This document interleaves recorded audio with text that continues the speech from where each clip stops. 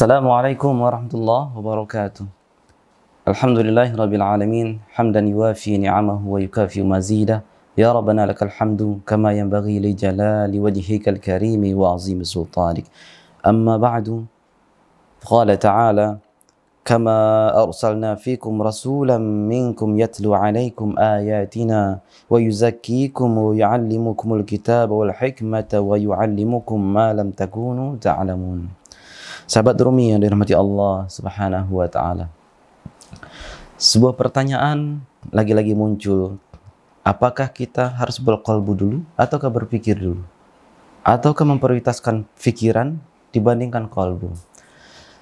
Sahabat Rumi, kita harus paham bahwa fikir dan kolbu fikir dan rasa semuanya adalah amanah dari Allah Subhanahu wa taala.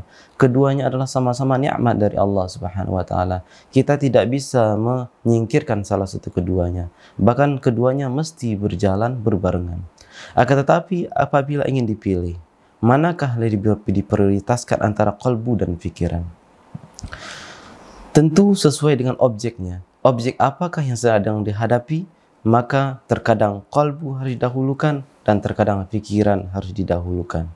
Seseorang yang sedang bercinta, seseorang yang mengerti, sedang merasakan cinta, yang baru menikah, dia akan melakukan hal-hal ya, hal-hal yang menurut orang secara akal pikiran itu tidak normal.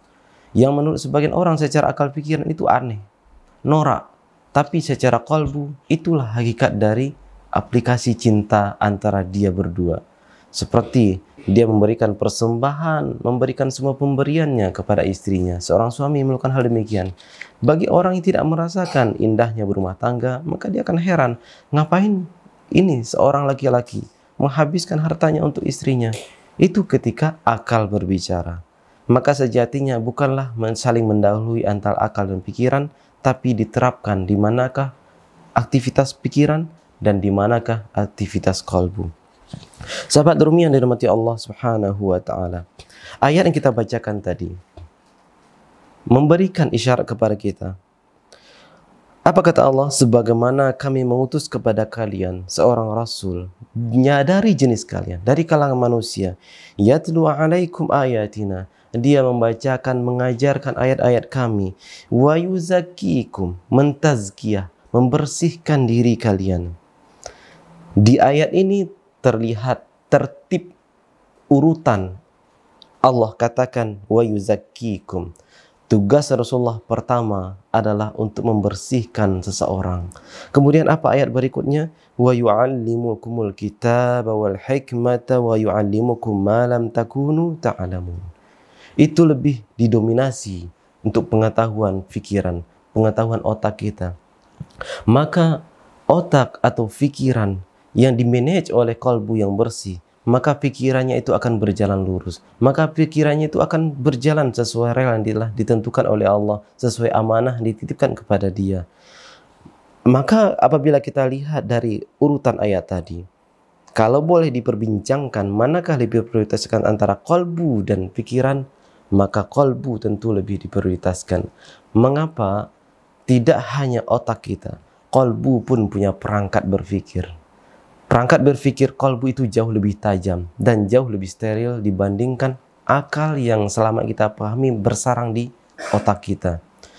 Maka apa yang disebut dengan pikiran kolbu itulah yang disebut dengan fuad lapisan yang lebih dalam lagi dibandingkan al-qalbu di samping lapisan-lapisan terdalam lainnya. Maka al-fuad itulah akalnya kalbu. Dialah yang akan menyaring, yang memanage langkah-langkah kalbu, bisikan-bisikan kalbu bagi seorang hamba.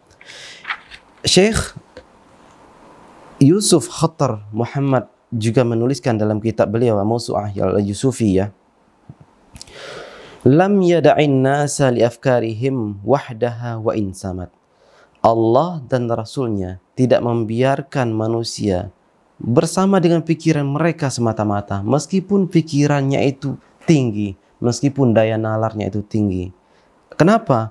Fa'innal aqla mahma balagha fahuwa mahallun lil khata. Meskipun akal itu sampai pada tujuannya begitu tinggi kemampuan analisa seorang akan tetapi yang namanya akal tetaplah menjadi tempat kesalahan tempat kealpaan.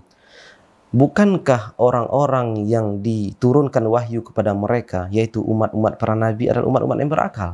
Tapi ternyata apa? Kitab suci tetap turun kepada mereka. Para nabi dan rasul tetap Allah utus kepada mereka. Bukankah mereka berakal?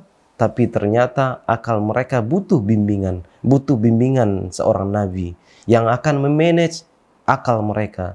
Maka Nabi dan Rasul sehingga dan para-para wali itu memberikan ilmu-ilmu, rumus-rumus mengelola kolbu supaya kolbu itu bisa mengelola pikiran kita. Maka kita perhatikan orang yang kolbunya sudah itminan, kolbunya sudah tenang, maka pola pikirnya pun tenang. Maka dia mampu melihat berbagai macam dimensi. Dia mampu melihat berbagai macam aspek dalam pikiran. Ketika ada sebuah isu yang sampai kepada dia, dia tidak melihat dengan kacamata kuda. Dia mampu melihat dari berbagai macam aspek. Sehingga lapanglah pola pikirnya akibat kelapangan kolbu. Maka manakah yang lebih diprioritaskan? Kalau boleh memilih, maka prioritaskanlah kolbu. Tapi jangan khawatir, apakah dengan kita memprioritaskan kolbu berarti kita tidak berpikir? Bukan begitu, saudara Rumi, bahwa dalam kolbu kita ada perangkat berpikir juga. Allah tidak memandang kepada akal pikiran kita, tapi Allah memandang kepada kolbu kita. Kalau Allah sudah memandang kepada kolbu kita, maka perangkat pikiran yang ada dalam kolbu yang disebut dengan fuad itu akan membimbing akal pikiran kita. Insya Allah, semoga Allah membimbing kolbu kita terbimbing pula akal pikiran kita. Wassalamualaikum warahmatullahi wabarakatuh.